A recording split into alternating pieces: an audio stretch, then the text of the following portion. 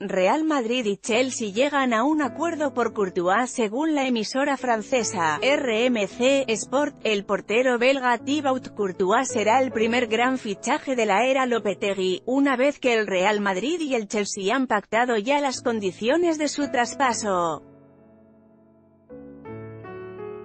El medio francés afirma que el club madridista abonará 35 millones por el guardameta de la selección belga. A falta de que el acuerdo se haga oficial, el citado medio asegura que la operación, que llevaba varias semanas en marcha, ya está cerrada, por lo que Courtois se incorporará a la disciplina del club madridista en cuanto concluyan sus vacaciones. El Chelsea no ha tenido más remedio que sentarse a negociar con el club madridista, ya que al belga le quedaba solo un año más de contrato y no ha querido prorrogarlo, pese a los numerosos ofrecimientos que le han hecho los dirigentes del club londinense.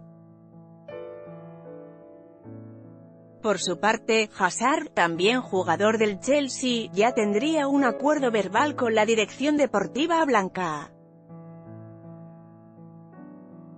Aunque no se dan detalles sobre los contactos entre clubes, tener el sí del jugador agilizaría mucho las negociaciones.